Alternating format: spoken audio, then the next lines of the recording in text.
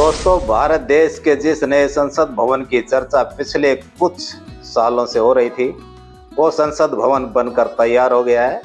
इसके बनने में लगभग 28 महीने खर्च हुए हैं। आठ सौ बासठ करोड़ रुपए के लगभग लागत आई है। सीटिंग कैपेसिटी की बात की जाए तो बारह सौ चैम्बर बने हुए हैं। लोकसभा के चैम्बर आठ हैं तो राज्यसभा के चैम्बर तीन हैं। दुनिया के बेहद खूबसूरत संसद भवनों में से ये भारत का भवन अपने आप में एक अनूठा, अजूबा और अनुपम है। ये बहुत ही विशाल है। इसकी कैपेसिटी पुराने संसद भवन की अपेक्षा कई गुना अधिक है।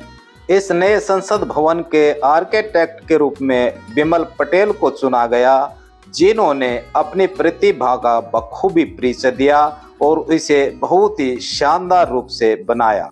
इस नए संसद भवन के अंदर पूजा पाठ, हवन आदि के लिए भी स्थान सुनिश्चित किया गया है। अन्य धर्मों के प्रेर स्थान भी सुनिश्चित किए गए हैं ताकि भारत की धर्म निरपेक्षता की विशेषता जीवित रहे। दोस्तों, सुनने में एक बात और आ रही है कि भारतीय दंड चिन्ह के रूप में सेंगोल को स्थापित किया जाएगा और 28 मई को भारत के माननीय प्रधानमंत्री श्री नरेंद्र मोदी जी इस नए संसद भवन का उद्घाटन करेंगे। प्रधानमंत्री जी ने आज ये ट्विटर पर ट्वीट किया है और ये वीडियो अपलोड किया है और उन्होंने हर भारतीय से इसे शेयर करने को भी कहा है। दोस्तों, वीडियो को लाइक, शेयर कर कर चैनल सब्सक्राइब कर देना। नमस्कार।